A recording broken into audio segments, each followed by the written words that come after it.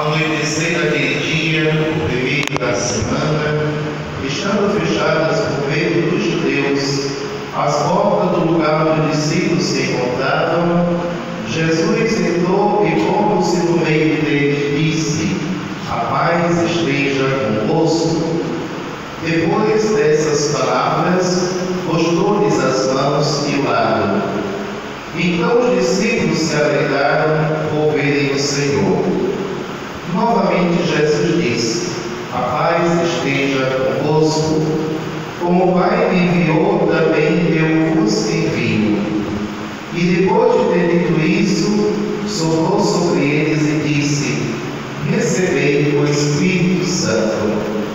A quem perdoarmos os pecados, eles lhes serão perdoados.